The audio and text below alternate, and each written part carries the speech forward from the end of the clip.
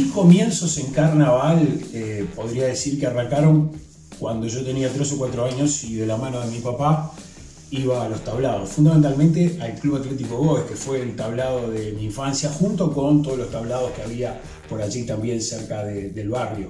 El Yale, el Roberto Coch y tantos otros que andaban por ahí en la vuelta. Em, después fui abonado en el Teatro de Verano, unos cuantos años. En el 88 salí en carnaval en la Murga La Canaria, una murga que salía de Lagomar con unos amigos divinos y después, en el año 1991, arranqué en los medios. ¿Cómo?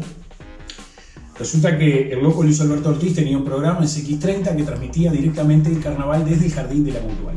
Entonces un día fui de atrevido, porque él obviamente no me conocía, no tenía ni idea ni quién era yo, y le dije si no quería que yo le contara lo que había pasado la noche anterior en el Teatro de Verano, al comienzo de su programa. Él arrancaba a las 8, entonces yo me iba de 8 a 8 y media al Jardín de la Mutual y contaba un poco lo que había pasado en el Teatro de Verano. Le encantó la idea, fue el primero que me prestó un micrófono y hasta el día de hoy le estoy eternamente agradecido. Un talento oculto, bueno, yo que me creo una persona con pocos talentos, por lo tanto no estoy en condiciones de andar ocultándolo, ¿viste? porque si son tan pocos no se pueden andar ocultando los talentos. Por lo tanto, talento oculto te diría que no tengo ninguno. Los pocos que pueda tener trato de exhibirlo lo más posible.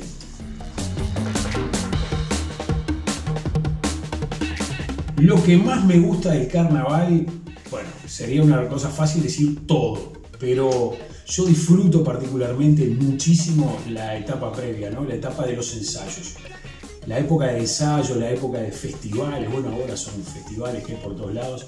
Esa etapa yo la disfruto muchísimo porque puedo ser testigo de la construcción de los espectáculos, pero sobre todas las cosas porque se da un espacio lindísimo para poder entablar en largas charlas con los protagonistas del carnaval y sobre todas las cosas de aprender muchísimo. Por lo tanto, eh, yo te diría que la etapa previa de que arranque el carnaval, y obviamente que disfruto mucho los espectáculos en el teatro de verano en los tablados, pero esa etapa previa de, construcción, de aproximación, eh, la disfruto muchísimo sin ningún tipo de dudas.